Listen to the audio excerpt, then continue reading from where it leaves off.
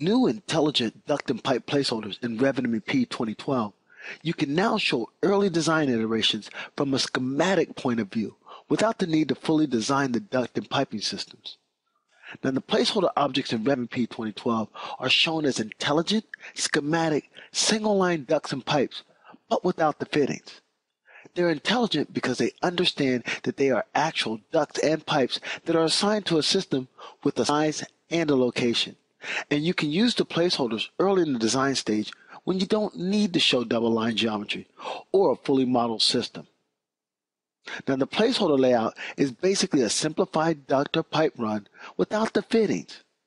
By not using the fittings, you don't have to worry about meeting strict design requirements when it's not really necessary in the process.